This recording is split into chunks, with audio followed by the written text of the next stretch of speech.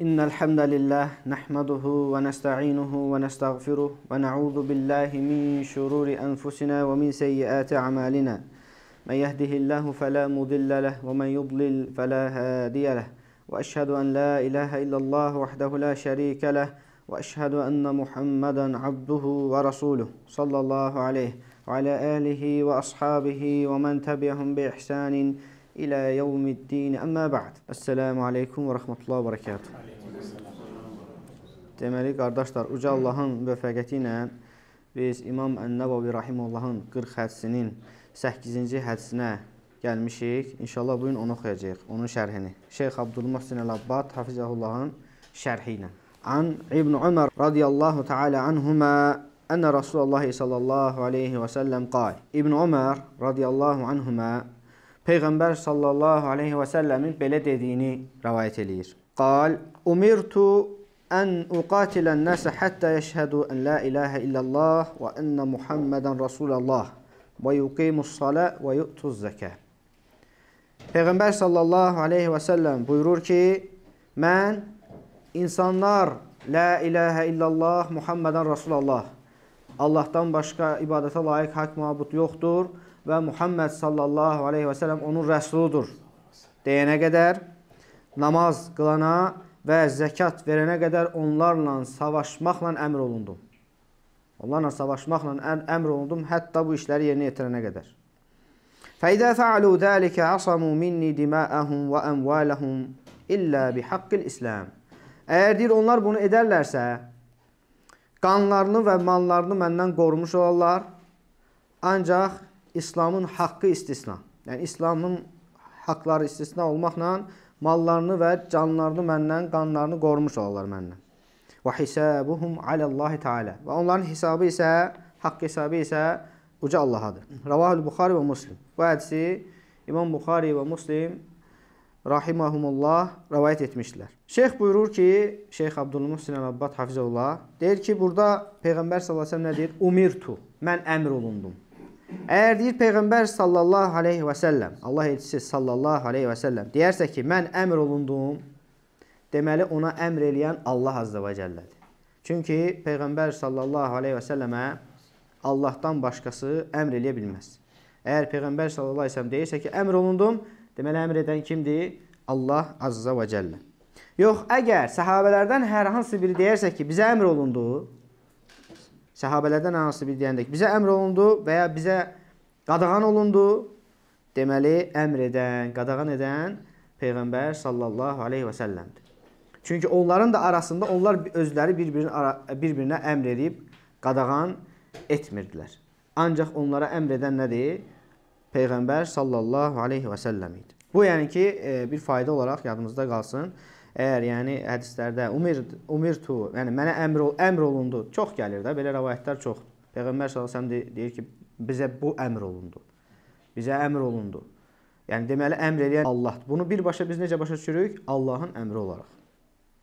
Səhabələrə də gələrsə, yenə də Peyğəmbər sallallahu əleyhi və səlləm və Peyğəmbər sallallahu əleyhi və səlləm də bir şey əmr eləyibsə, bu da Allahdandır. Yəni Peyğəmbər sallallahu əleyhi və səlləm özünün nəfsindən danışmır. Və ma yantiqu anil hawa in huwa illa vahyuha. O öz nəfsi istəyindən danışmır. Onun danışdığı nədir? Ancaq ona təlqin edilən vəhidir. Yəni biz hər bir halda əgər səhabədən də gəlsə, Peyğəmbər sallallahu əleyhi və səlləmdən də gəlsə, əmr olundum deyərək bizə əmr olundu deyərək bizə xəbər gəlirsə, ya səhabələrdən, ya Peyğəmbər sallallahu əleyhi və səlləmdən, deməli bu nədir? Vacib olunan, əmr olunan bir məsələdir. Allah azza və cəllədən gələn bir əmrdir. Baxın qardaşlar, burada birincisi şəhadət gəlir. Deyir ki, mən əmr olundum ki, insanlar şəhadət gətirənə qədər, yəni la ilahə illallah, Muhammed Rasulullah şəhadəti və bu birinci gələn bu şəhadət bu bir insanın İslam'a daxil olması üçün, bir insanın müsəlman olması üçün bunu mütləq gətirməlidir. İkisini bir yerdə. Şəhadət edirəm ki, Allahdan başqa ibadətə layiq haqq mabud yoxdur və Muhammed sallallahu aleyhi və səlləm onun elçisidir.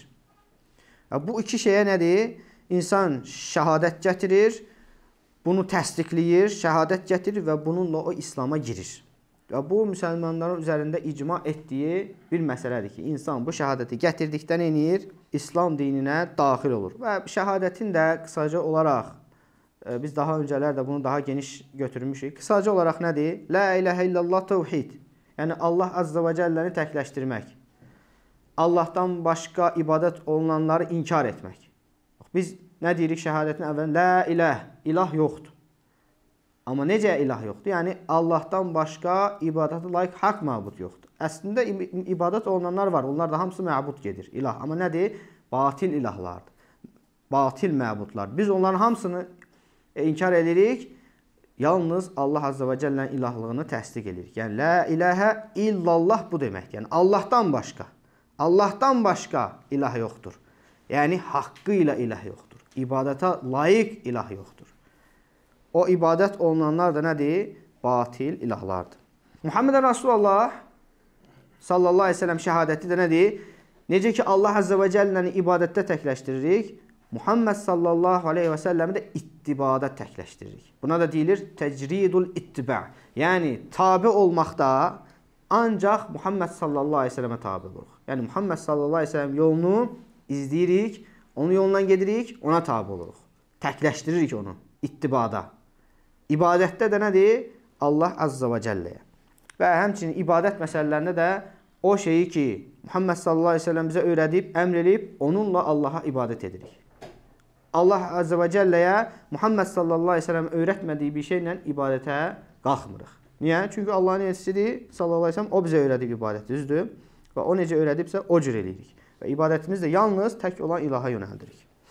Bu, yəni ki, la ilahə illallah Muhammed Rasulullahın müxtəsər olaraq mənasıdır, qardaşlar. Şəhadətdən sonra gəlir namaz qılmaq. Və bu namaz bizim dinimizin dirəyidir.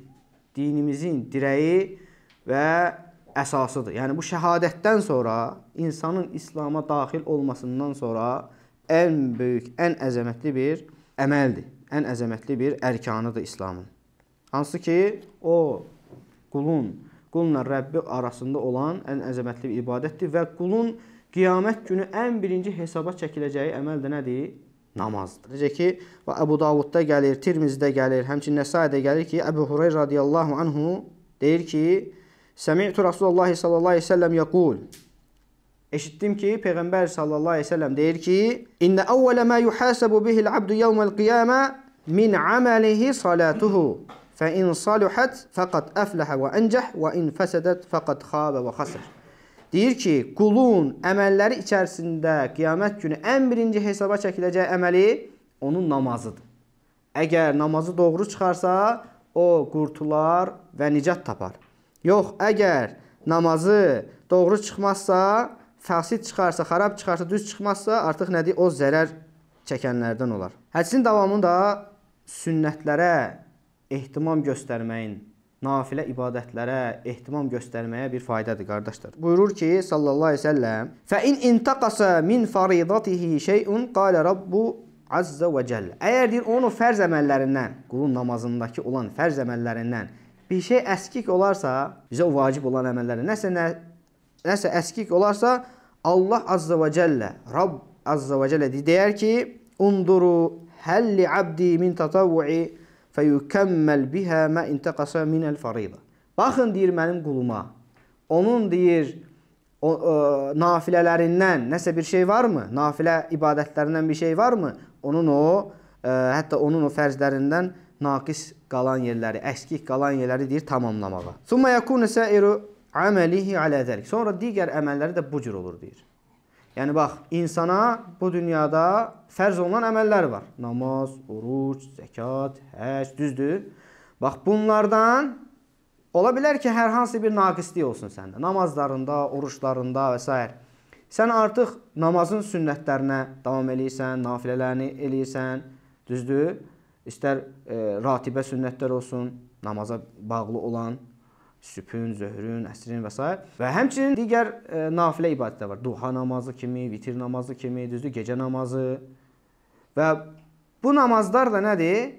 Sənin üçün böyük faydası var. Əgər sənin qiyamət günü hesabında fərzlərindən, fərz olan namazlarından hər hansı bir əskiklik olarsa, Həmən o nafilələrlə bu hədisə görə, açıq-aydın hədisdir, səhih hədisdir. Sunan Tirmizidə gəlir, Şeyx Albani səhihləşdirib. Bu hədisə görə və bunun kimi bir çox dəlillər var. Bunlara görə nədir? Bizim naqis olan fərzlərimiz bundan tamamlanır. Və həmçinin digər əməllər də. Görsən, deyir ki, və digər əməlləri də bu cür bu cür e, müamilə edilir. Yəni ki, orucuna baxılır, fərzinə, əgər əskiyi varsa, nafilə oruclarla tamamlanır. Zəkata baxılır, zəkatının əskikləri sədaqələrlə tamamlanır. Həccə birinci, birinci həcc insan ömründə bir dəfə həcc etməsi fərzdir. Amma digərləri nədir? Nafilə, müstəhəb hökmünə gəlir. Yəni ki, ona görə insan nə etməlidir? Fərzləri yerinə yetirməkdə davamlı olduğu kimi çalışmalıdır ki, bu cins əməllərin hər birindən eyni zamanda nə etsin? Nafilələrini də çoxaltsın. Bildik ki, burada artıq nədir? Şəhadətdən sonra namaz gəlir və namazın da bu cür əzəmətini göstərir. Və sonra deyir zəkat. Kim ki zəkatını verərsə, şəhadəti gətirər, namazı qılar və zəkatı verərsə, nədir? Onlar deyir məndən qanlarını qurtarmış olarlar. İzə fəalu zəlikə asamu minni dima'ahum və amvalahum. Əgər deyir onlar deyir bunu edərlərsə məndən qanlarını və mallarını artıq qorumuş olarlar. Ancaq İslamın haqqı olan istisna. Burada deməli biz nə başa düşürük? Deyir ki, asamu minni. Məndən qorumuş olarlar qanlarını, mallarını. Deməli, qardaşlar, biz buradan onu başa düşürük ki, müsəlmanın qanı qorunur. Müsəlmanın qanı haramdır. Toxunmaq olmaz. Eləcə də malına toxunmaq olmaz. Müsəlmanın qanı və malı nədir? Toxunulmazdır. Nə zaman insan müsəlman olur? Bu şəhadəti gətirdikdən sonra. Şəhadəti gətirir, ondan sonra bu İslam'a daxil olur və artıq onun qanı və malı qorunur. Vəda həcci olur. Deyir ki, Peyğəmbər sallallahu əleyhi və səlləm öz heyvanının üzərindən, yəni insanlar onu görsünlər deyənə, hamısı eşitsinlər də öz mininin üstündən xitab edir insanlara və bir nəfər də onun miniyini tutmuş olur, onun e, kəndirindən. Deyir ki, Peyğəmbər sallallahu əleyhi və səlləm: "Ey yevmin hada" Bu gün hansı gündür? Və insanların hə, hamısı bilir, həcdir. Həcdə toplanırlar, bilirlər hansı gündür.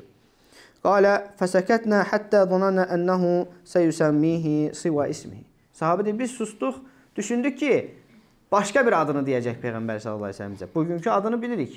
Düşündük ki, başqa adını deyəcək. Əleysə yevmen nəhr Qulna bələ. Dedi ki, məgər bu gün Qurban bayramı günü deyilmi? Yevmun Nahr qurbanların kəsilən günü. Dedik ki, əlbəttə elədir. Ey Allahın elçisi, bu gün yəni Qurban bayramı günüdür. Qalə, sonra davam edir Peyğəmbər sallallahu əleyhi və səlləm deyir ki: "Fə eyyu şəhrin hada?" Fəsəkətnə həttə zanana ennehu sayusammihi bighayri ismihi. Və sonra soruşur ki, bəs bu hansı aydır? Və deyir biz sustuq, yenə cavab vermədik, düşündük ki, bu ayın başqa bir adını bizə deyəcək Peyğəmbər sallallahu əleyhi və səlləm. Başqa bir adla adlandıracaq və deyir ki, Peyğəmbər sallallahu əleyhi və səlləm: "Əleysə bi zilhiccə?" Məgər bu zilhiccə ayı deyilmi?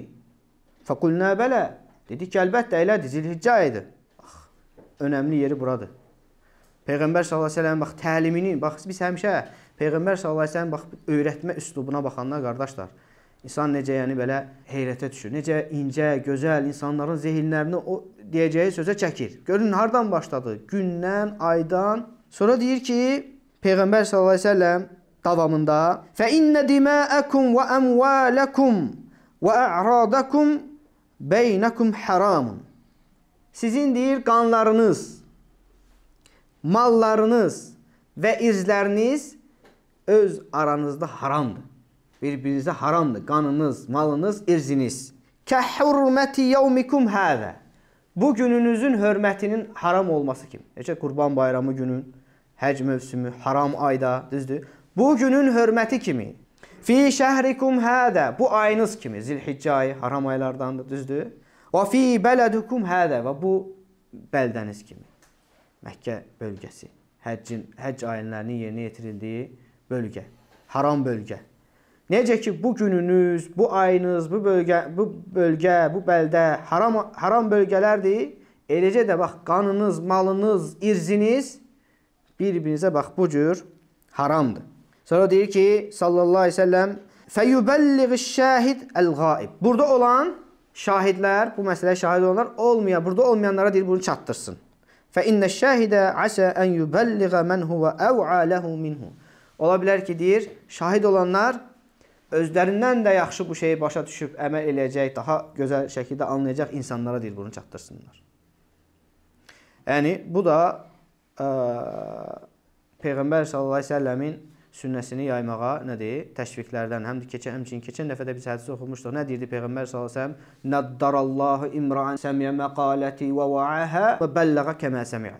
Allah deyir, o deyir qulun üzünü parlatsın. Məndən bir sözü eşidər, onu gözəl şəkildə anlayar, hifz edər, sonra onu eşitdiyi kimi digərlərinə çatdırar. Müjdəyə bax. Allah deyir, o qulun üzünü parlatsın. Və bu da nədir? Yəni Peyğəmbər sallallahu əleyhi və səlləm sünnəsini öyrənməyin və insanlar arasında yaymağın fəzilətlərindəndir, qardaşlar. Uca Allahdan deyirəm ki, bizləri Peyğəmbər sallallahu əleyhi və səlləm sünnəsini öyrənib, əməl edib və onu yayanlardan etsin. Deməli burada da nədir, qardaşlar? Biz başa düşürük ki, müsəlmanlar arasında onların malları, qanları nədir? Bir-birinə haramdır. Və sonra buyurur ki: "Və hisabuhum alallahi Teala." Və onların hesabı Allah Teala'dır. Yəni qəlblərində olan qəlblərində olan imanlarının doğru və ya yalan olması isə hesabı Allah qatındadır. Biz nədir? Bax bu zahirə görə müamiləmizi qoyuruq. Buradan da görünür ki, illə bi haqqil İslam deyir ki, İslam haqqından əlavə və bu ona dəlalət edir ki, qardaşlar, İslam dini hüquq dinidir, haqq dinidir. Yəni İslam dinində nə var? Haqlar var. Kim ki İslam dininə daxil olarsa, bax bu haqlara riayət etməlidir. Müsəlmanlar arasında olan bu haqlara mütləq riayət etməlidir. Və sonra şeyx buyurur ki, ikinci fayda olaraq gətirir ki, o vaxt ki deyir Peyğəmbər sallallahu əleyhi və səlləm vəfat eləyir. Əbu Bəkr radiyallahu anhu xilafətə gəlir, xəlifə olur və ərəblərdən bəziləri mürtəd olur. Dindən üz döndərib çıxırlar. Mürtəd olurlar Bəziləri isə zəkatı verməkdən imtina edirlər. Bəziləri də zəkatı verməkdən imtina edirlər ki, biz zəkatımızı ancaq Muhammed sallallahu əleyhi və səlləmə verirdik və indi isə Muhammed sallallahu əleyhi və səlləm artıq dünyasını dəyişdi, başqa heç kimə verməyəcək zəkatımızı deyirlər, imtina edirlər. Əbu Bəkr radiyallahu anhunun həmən vaxtda bu hədis Əbu Bəkr radiyallahu anhuda məlumat olaraq yox idi ki, Peyğəmbər sallallahu əleyhi və səlləm belə bir söz deməsi Əbu Bəkr radiyallahu anhuda yox idi. Çünki burada açıq-aydın gəlir ki, şəhadət, sonra namaz və zəkat. Əbu Hüreyra radiyallahu anhunun rivayet etdiyi Sahih Müslimdə gələn 20-ci hədisdə deyir ki, o vaxt ki Peyğəmbər sallallahu əleyhi və səlləm vəfat etdi, Əbu Bəkr ondan sonra xəlifə oldu. Və ərəblərdən bəziləri küfr etdi, mürtəd oldu, dindən çıxdılar. Ömər radiyallahu anhu deyir, Əbu Bəkr radiyallahu anhu dedi ki, sən deyir onlarla necə deyir savaşırsan ki, Peyğəmbər sallallahu əleyhi və səlləm demişdi ki: "Umirtu an uqatilən nas hatta yaqulu la ilaha illallah." Peyğəmbər sallallahu əleyhi və səlləm demişdi ki: "Mənə əmr olunub ki, insanlar la ilaha illallah deyənə qədər onlarla savaşım." Fəmən qala la ilaha illallah faqad asama minni ma lahu və nəfsuhu illə bihaqqihi. Kim deyir la ilaha illallah deyərsə, artıq malını və canını məndən qorumuş olar. İslamın haqqı isə istisna. Və hisabuhum alallahi taala. Onların hesabı isə Allahadır. Və Müslimdə gələn bu hədisdə Ömər radiyallahu anhu Əbu Bakr radiyallahu anhuya etiraz eləyir ki, bu hədisə görə ki, Peyğəmbər sallallahu əleyhi və səlləm bunu demişdi.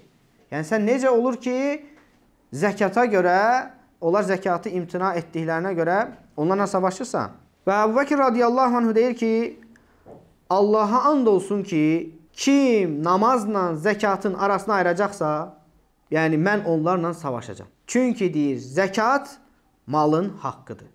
Zəkat malın haqqıdır. Namaz bədənin haqqıdır. İnsan bədəni ilə ibadət eləyir Rəbbinə. Bədəninin haqqını verir Rəbbinə və zəkat da deyir malın haqqıdır.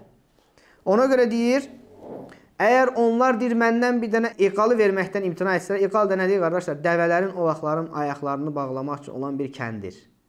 İndi simvolik olaraq ərəblər də başlarına qoyurlar yumru. Bax, onun mənası o iqaldır, o kəndir. Yəni, o kəndirlə ayaqlarını bir-birinə bağlayırlar ki, dəvə sürətlə qaçıb uzaqlaşmasın.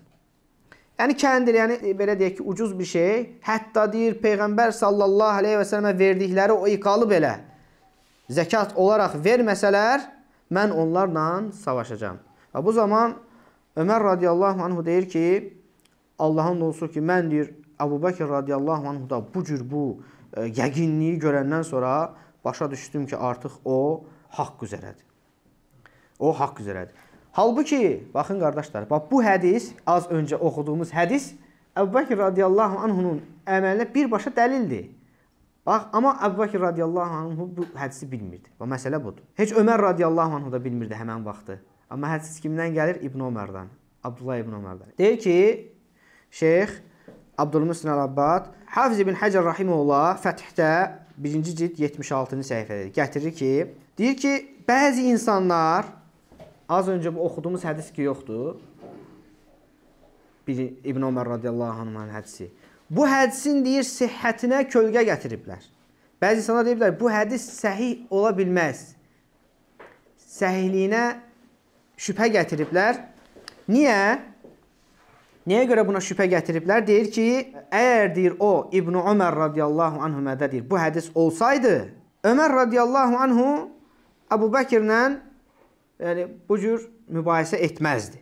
Zəkatı verməyənlərlə Əbu Bəkir radiyallahu anhu savaş eləyir və Ömər radiyallahu anhu da yəni Əbu Bəkir radiyallahu anhu mübahisə eləyir ki, niyə onlarla savaşırsan da deyə. Əgər deyir bu hədis İbn Ömərdə, Ömər radiyallahu anh oğlunda olmuş olsaydı, həqiqətən belə bir hədis olsaydı, heç bu mübahisəyə heç ehtiyac da olmazdı. Belə bir şübhə var qardaşlar. Bu şübhədir. Əslində bunun gözəl bir cavabı var. Şeyx burada gətirir. Onlar deyir bunu bilsəydilər, Əbu Bəkirlə Ömər radiyallahu anhuma bunu bilsəydilər deyir, Əbu Bəkir deyir radiyallahu anhu namaza deyir qiyas etməzdi deyir bu məsələni.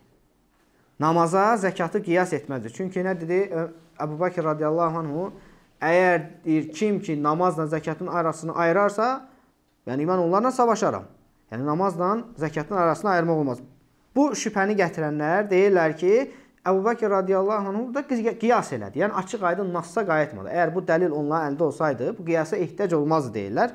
İbn Ömər radiyallahu anhumanın orada həmin o məclisdə deyir, iştirak etməsi Yəni e, şərt deyil. Bəlkə iştirak eləməyib heç İbn Ömər radiyallahu anh, bəlkə heç olmayıb orada. Yəni bu o demək deyil ki, daha sonra onlara deməyib. Ola bilər ki, onlar bu aralarında biraz mübahisə eləyiblər, bu hədisi bilməyiblər. İbn Ömər radiyallahu anh daha sonra onlara bu hədisi demiş ola bilər. Yəni bu niyə görə də bu hədisi e, səhihliyini, yəni şübhə altına salsın ki? Heç bir burada hədisi e, zəifləşdirməyə bir əsas yoxdur. Hədisi rivayet edən İbn Ömərdir.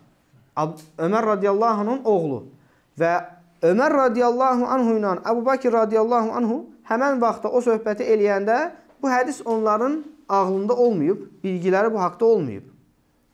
Yəni bu həd bu məsələ bu hədisin zəifləşdirilməsinə, yəni səbəb deyil. Və həmçinin deyir ki, Əbu Bəkir radiyallahu anhu zəkatı verməkdən imtina edənlər üçün sadəcə qiyasla da savaşmayıb. Əslində Əbu Bəkir radiyallahu anhun əlində nə idi? Dəlil də var idi. Çünki hədisdə nə deyir? İllə bi haqqil İslam. İslamın haqqı istisna və zəkat da İslamın haqqındandır. Zəkat da İslamın ayrılmaz olan haqlarındandır və ona görə də Əbu Bəkir radiyallahu anhu bax o cür sinə genişliyi ilə o zəkatı verməyənlərə, zəkata qarşı çıxan, yəni zəkatı verməkdən imtina edənlərə qarşı savaşıb. Və burada bir məsələ də var. Əbu Bəkir radiyallahu anhu birbaşa el zəkatı vermədiklərinə görə onlarla savaşmayıb. Zəkatı verməkdən imtina ediblər. Hətta bunu savaşla da belə, yəni savaşa qədər də verməyiblər. Hətta onlardan tələb olunsa da tamamilə zəkatı verməkdən onlar imtina ediblər. İbn Həcər rahimehullah sonra davamında buyurur ki, inşallah bu haqqda zəkat bölümündə bu geniş bir şəkildə bura toxunacağıq. Yəni biz necə başa düşürük bu məsələni? Məsələ əslində necə olub? Zəkatı verməkdən imtina ediblər və sonra onlara bu dəlillər çatdırıldıqdan sonra bu tələb onlarda edildikdən sonra yenə də imtina ediblər, hətta bunu savaşa qədər aparıblar. Bəs bu savaşmaq kimin haqqıdır? Bu savaşmaq da ancaq rəhbərlərin haqqıdır. Ancaq rəhbərlərin haqqıdır. Yəni əgər kimsə zəkatı verməkdən imtina eləyirsə, rəhbər ondan bunu zorla ala bilər. Zorla tələb eləyə bilər. Güc vasitəsilə. Yox, əgər bununla da artıq əldə eləyə bilməzsə, ondan sonra yəni artıq savaşa gedir. Yəni savaşmaq birbaşa gəlmir. Yəni əgər imtina eləyirsə, rəhbər ondan tələb eləyir, o hətta savaşı belə gözünə alaraq, yəni e, verməkdən imtina eləyirsə, bu zaman nədir? Savaş olur. Və burada qardaşlar bir çox faydalar var bu bu hadisənin baş verməsində. Bu deyir, ona deyir dəlildir ki, kimdir deyir bunu? Bax, bizim sözümüz öyle. İbn Həcər rahimehullahın sözüdür qardaşlar. İbn Həcəri bilirsiniz, böyük İslam alimlərindəndir, dəryalardandır. İbn Həcər rahimehullah deyir ki, bu deyir, bu qissə, bu hadisə ona dəlildir ki, hətta böyük sahabelər olsa belə bəzi sahabelərdən bəzi hədislər gizli qalıb. Bəzi hədislər onlara çatmayıb. Belə olan halda deyir, sünnət ortaya çıxarsa, bizim nə qədər güclü olsa da başqa rəylərə yönəlməyimiz düzgün deyil. Bu zaman deyir, deyilmir ki, bu necə ola bilər deyir, filan kəsə bu gizli qalar. Bugün biz biz çox məzhəb təəssübkeşlərindən, kör təqlidçilərdən və s. belə sözlər, belə iradlar çox eşidirik. Şeyx nə buyurur? Vallahul muvaffiq. Müvəffəq edən Allahdır. Əslində bu cür qissələrin var olması Allahın hikmətindəndir. Allahın hikmətindəndir ki, baxmayaraq ki, bax o qədər böyük səhabələr olublar. Əbu Bəkr radiyallahu anhu, Ömər radiyallahu anhu, amma onlara da müəyyən vaxtlarda hansısa bir, yəni e, hədislər çatmamışdı. Bunlar səhabələrdən fərd-fərd olan insanlardır, qardaşlar. Yəni tək-tək. Amma hədislərin hamısı Allahın ilə qorunub saxlanıb bütün səhabələrin fəhmində, əzbərində və onlar sonradan çatdırıblar bunu ümmətə. Düzdür? Bax İbn Ömər radiyallahu anhumanın bu hədisi kimi. Bax burada bu hədisdə Peyğəmbər sallallahu əleyhi və səlləm açıq-aydın buyurur ki, şahadət La ilahe illallah Muhammed Rasulullah şahadəti, namaz və zəkat. Verincəyə qədər onlarla savaşmaqla əmr olundu. Bax bu namazla zəkat olan hissəsi Peyğəmbər sallallahu əleyhi və səlləm bu kəlməni deməsi həmin vaxtda həmin o Ömər radiyallahu anhu ilə Əbu Bəkr radiyallahu anhunun söhbəti zamanında heç birinin hifsində deyil idi. Heç biri bu hədisi bilmirdi. Bu da o deməkdir ki, ümmətdə müəyyən fərdlərdən, müəyyən fərdlərdə hər hansı bir dəlil olmaya bilər.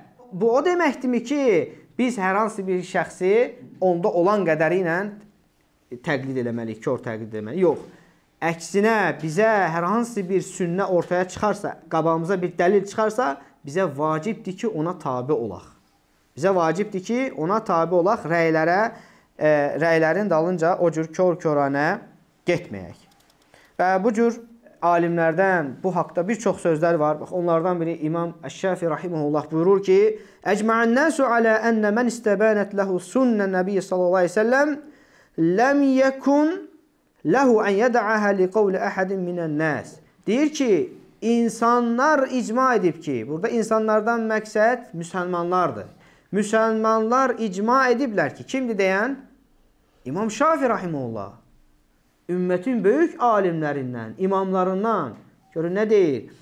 İnsanlar, yəni müsəlmanlar icma ediblər ki, kimə Peyğəmbər sallallahu aleyhi və səlləmdən bir sünnə bəlli olarsa, aydın olarsa ona, başqa bir şəxsin, başqa bir kimsənin sözünə görə insanlardan hər hansı bir şəxsin sözünə görə Peyğəmbər sallallahu aleyhi və səlləm sözünü tərk etməsi halal deyil. Halal deyil, icazəli deyil. Əgər sənə Peyğəmbər sallallahu aleyhi və səlləm bir sözü çıxarsa qarşıva səhih olaraq və sənin etibar elədiyin, güvəndiyin hətta bir alim, bir elm tələbəsi, bir şeyx və s. fərqi yoxdur. Onun əksini deyərsə, sən Peyğəmbər sallallahu aleyhi və səlləm sözünü götürməklə mükəlləfsən. Onu da götürə bilərsən, bunu da götürə bilərsən, yox. Bax, qardaşlar, burada o, bu məqamı düzgün başa düşmək lazımdır. Sən o alimin də sözünü götürə bilərsən, ona müxalif olan Peyğəmbər sallallahu səlləm sözünü də götürə bilərsən. Belə yox. Sən alimin sözünə müxalif olan səhih Peyğəmbər sallallahu səlləm sözünü götürməyin vacibdir sənə. İxtiyar qarşısında deyilsən, götürə bilərsən bunu da, onu da. Yox. Necə ola bilər ki, Peyğəmbər sallallahu əleyhi və səlləm sözü sənə çatır və sənə bəlli olur ki, bu məsələdə Peyğəmbər sallallahu əleyhi və səlləm hökmü budur, sözü budur. Üzərində də möhrü mənəvi. Yəni Peyğəmbər sallallahu əleyhi və səlləm bunu deyib. Aləmlərin Rəbbi olan Allahın bizə elçi göndərdiyi Muhammed sallallahu əleyhi və səlləmin kəlamı və səhih olaraq çatır. Sən desən yox, düzdür, var. Peyğəmbər sallallahu əleyhi və səlləm sözü, amma mən falan alimin sözünü götürürəm. Çünki ola bilməzdi ki, o alim Peyğəmbər sallallahu əleyhi və səlləm bu sözünü bilə bilməzdi. Əgər Peyğəmbər sallallahu əleyhi və səlləm bu sözü ola-ola yenə də bu başqa bir hökm veribsə, deməli burada vəsait var, fəlsəfə. Xeyr, ola bilər ki, alimə çatmayıb həqiqətən o söz. Və burada bir çox ə, alimlərdən bu cür kəlmələr var. İnşallah onlardan bəzilərini e, vaxtımız qalasa oxuyacağam. Baxın, biz niyə görə Peyğəmbər sallallahu əleyhi və səlləmin vaxt ittibada və o deyir Muhammed Rasulullah mənası nədir? Tecridul ittiba. Peyğəmbər sallallahu əleyhi və səlləmə olan ittibada onu təkləşdiririk. Ona tabe oluruq, onun yolunu izləyirik. Bu çox mühümdür qardaşlar. Bu Əhlüsünnə və Cəmaətin digər bidət firqələrdən olan fərqidir. Bunu bizə Allah Azza və Cəllə bizə tövsiyə eləyib. Birincisi Peyğəmbər sallallahu əleyhi və səlləm elçi göndərməklə onsuz da bizə onu bildirib. Allah Azza və Cəllə ki, mən sizə elçi göndərəm, bunun yolunu gedin. Bir çox da ayələr var.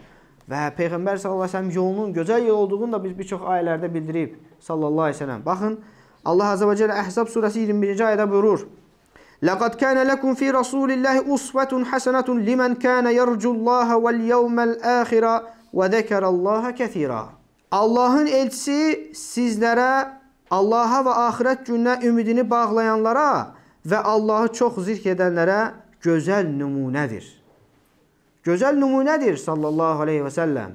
Kim üçün gözəl nümunədir? Bax deyir, Allaha və axirət gününə ümidini bağlayanlara və Allahı çox zikr edənlərə Bizim üçün ən gözəl nümunə Peyğəmbər sallallahu aleyhi və səlləmdir. Ona görə onun yolunu tutub getməliyik. Sonra başqa bir ayədə, Qasas surəsi 65-ci ayədə Allah azza və cəllə buyurur ki: "Və yevmə yunadihim feyəqulu məzə əcibtumul mursalin." Ayənin əzəmətinə baxın. O gün deyir, Allah onları çağırıb elçilərə nə cavab verdiniz deyəcək. Onlardan hesab soracaq. Allah Azze və Cəllə insanlardan qiyamət günü hesab soracaq ki, göndərilən elçilərə nə cavab verdiniz? Yəni burada cavab nə mənadadır? Yəni onların əmrlərinə itaat etdinizmi? Qadağanlarından çəkindinizmi? Ona görə də sənə Peyğəmbər sallallahu aleyhi və səlləmdən səhih bir söz gəldikdə, səhih bir xəbər, əmir, qadağa gəldikdə dərhal onu neynə? Götür, Alər-rəs vəl-əyn, gözüm və başım üstündə deyərək dərhal qəbul olan, dərhal tabe ol. Yoxsa Allah qorusun, yəni bunun yəni əksi nədir? Böyük bir təhlükədir. Deməli orada gəldi ki, insanlar la ilahə illallah Muhammed Rasulullah deyənə qədər onlarla savaşmaqla əmr olundum. Düzdür? Amma elə insanlar var ki, öz dinlərinin üzərində qalırlar və biz onlarla savaşmağı artıq durdururuq. Bu qisim var. Və bu qisim istisnadır qardaşlar. Həmən bu savaşda, bu hədisdə gələn qismlərdən bir istisna var. O da cizyəsini ödəyən, cizyəsini ödəyən əhlül kitab, kitab əhli. Və bu da buna da dəlil Qurandandır. Qurandan olan dəlilə görə və həmçinin sünnətdən olan başqa dəlillərə görə. Yəni burada dəlil var, ümumi. Bu dəlil ümumidir. Yəni insanlar la ilahe illallah deyənə qədər onlarla savaşmaqla əmr olundum. İstisnalar da var. Yenə də Quran və sünnə ilə biz cəm eləyirik. Yenə də Quran və sünnədə var ki, əgər onlar cizyə verərlərsə, onlara təyin olunmuş o cizyəni verərlərsə, artıq bu zaman onlardan nədir? Cizyə alınır, amma onlarla savaşılmır. Bax, bu haqda da həm Quranda, həm sünnətdə dəlillər var, qardaşlar. Bax, Quran-ı kərimdə Allah Azə və Cəllə Tövbə surəsinin 29-cu ayəsində buyurur. قاتلوا الذين لا يؤمنون بالله ولا باليوم الآخر ولا يحرمون ما حرم الله ورسوله Və la yadinun dinal haqq minellezina utul kitaba hatta yu'tul cizyata an yedin və hum saghirun. Kitab verilənlərdən Allaha və axirət gününə iman gətirməyən, Allahın və onun elçisinin haram buyurduğunu haram saymayan və həqiqi din olan İslam'a etiqad etməyənlərlə zəlil günə qalıb öz əlləri ilə cizyə verməyə məcbur oluncaya qədər vuruşun. Gördünüz? Onlarla vuruşmağı əmr eləyir Allah Azza və Cəllə. Ta ki, əgər deyir, iman etməsələr, Allaha və axirət günü iman etməsələr, İslam dinini qəbul etməsələr, cizyəni verincəyə qədər özdə zəlil bir şəkildə. Cizyəni verincəyə qədər onlarla savaşın. Yəni, əgər o cizyəni versələr, artıq burada Allah Azza və Cəllənin bildirdiyi məqsəd hasil olur. O zaman nədir? Savaş durur. Artıq onlarla savaşmırsan. Bu da Allahın əmridir, bu da Allahın əmridir. Onu da əmr eləyən Allahdır, bunu da əmr eləyən Allahdır. Və biz müsəlmanlar olaraq da nə deyim? Bu əmrlərə tabeyik. Və hədislərdə də bir çox dəlillər var. Onlardan biri o vaxt ki deyir Peyğəmbər sallallahu əleyhi və səlləm bir dəstə, bir e, ordu göndərərkən onlara bəzi nəsihətlər eləyərdi. Ordunu göndərməmişdən qabaq onlara bəzi nəsihətlər eləyərdi və o hədislərdən də biri indi oxuyacağam Allahın izni ilə. Buyurur ki, Peyğəmbər sallallahu əleyhi və səlləm: "Və izə laqita aduwwaka minəl müşrikin" Müşriklərdən olan bir düşmənlə rastlaşsan, fəd'uhum ilə thalathati xisal aw xilal. Onları deyir bu 3 məsələyə deyir dəvət elə. Bu 3 xislətə ilk öncə dəvət elə. Birbaşa savaşmaq yox. Gedirsən, hər hansı bir müşriklərlə qarşılaşırsan, savaşa getmisən. Amma savaşa başlamadan öncə onları İslam dininə dəvət edirsən. Burada 3 dənə məsələni qeyd edir Peyğəmbər sallallahu əleyhi və səlləm. Bunlardan deyir, hansına cavab verərlərsə, onlardan bunu qəbul elə və onlarla savaşmağı durdur. Onları da İslam'a dəvət elə. Əgər deyir səndən İslamı qəbul eləyərlərsə, və burada hədisdə görə necə gəlir və fə in əcəbukə əgər sənə cavab verərlərsə, faqbil minhum onlardan qəbul et. Bayaqki ayədə nə gəlmişdi? Elçilərə nə cavab verdiniz deyə Allah azza və cəllə soruşacaq. Burada da deyir ki, onlar sənə cavab verərlərsə onlardan bunu qəbul et. Yəni sənin əmrivi qəbul edərlərsə, sənin bu təklifivi onlar qəbul edərlərsə, cavab vermək bu mənadadır qardaşlar. Yəni sənin risalətivi qəbul edirlər onlar. İslam'a daxil olmaq, dəvətin onlar qəbul edirlər. Onlardan deyir bunu qəbul et və savaşmağı durdur. Və onları deyir deyilən ki, Sonra yenə onlara əlavə olaraq, məsələn, müsəlmanlar gediblər uzaq bir bölgəyə müşriklərlə savaşırlar. Buna vaxtı Məh Məkkəni fəthdən öncədir, qardaşlar. Məkkəni fəthdən öncədir və hələ hicrət qüvvədədir, hicrət etmək. Məkkəni fəth edəndən sonra artıq hicrət neynədir? Durdu. Deyir ki, əgər deyir, onlar deyir, bunu qəbul etsələr, onlara xəbər ver ki, İslam diyarına hicrət etsinlər. Yəni Mədinəyə mühacirlərin yanına. Əgər deyir onlar hicrət etsələr, onlara bildir ki, mühacirlərə nə varsa onlara da onlar olacaq. Bunlar kimdir? İslamı qəbul edənlərdən gedir söhbət. Əgər İslamı qəbul edirlərsə onlarla savaşma və onlara denən ki, Mədinəyə hicrət eləsinlər mühacirlərin yanına. Əgər hicrət etsələr, mühacirlərə nə varsa onlara da ondan var. Mühacirlərə nə var? Birinci müjdə. Müjdə var. Savabı var, əcri var, əlavə olaraq. Bir də qənimətlərdən gələn paylardan onlara da düşməsi var.